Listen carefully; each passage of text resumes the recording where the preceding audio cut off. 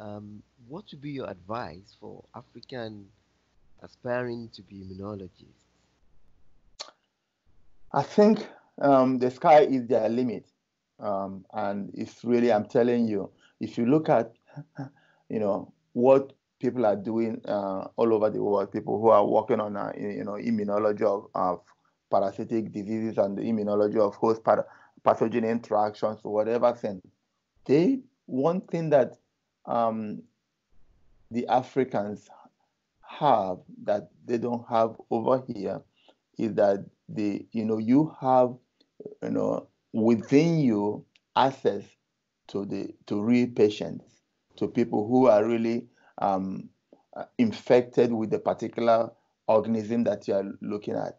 And that you have that resources that they don't have uh, in, in the western countries. They need to collaborate with you so as an aspiring immunologist in africa immunologist in africa if you are if you are really focused the sky is your limit because one, people want to have you to come in and train you so that you can go back and be able to contribute, um, you know, in tackling infectious diseases in Africa.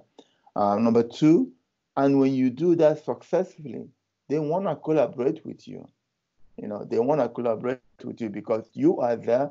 That are, you, you know what is going on there. You have access to those resources that they don't have. So I think um, if you look at the way things are going now, um, if you, I don't think there is any discipline that has, um, you know, ex- exponentially exploded the way immunology has. And if you look at the Nobel prizes um, in medicine um, over the years, if you look at how many of them are immunology related, you will understand that immunology is really where you want to be. And so for young ones in Africa, I think the sky is their limit. I think they need to understand that.